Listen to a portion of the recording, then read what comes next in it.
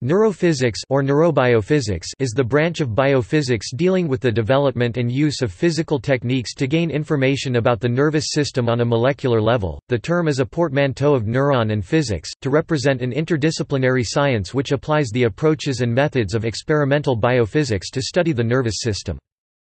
Examples of techniques developed and used in neurophysics are magnetic resonance imaging (MRI), patch clamp, tomography, and two-photon excitation microscopy.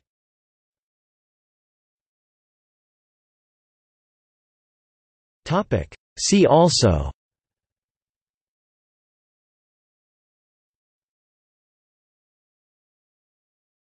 Topic: Books Wolfram Gerstner and Werner M.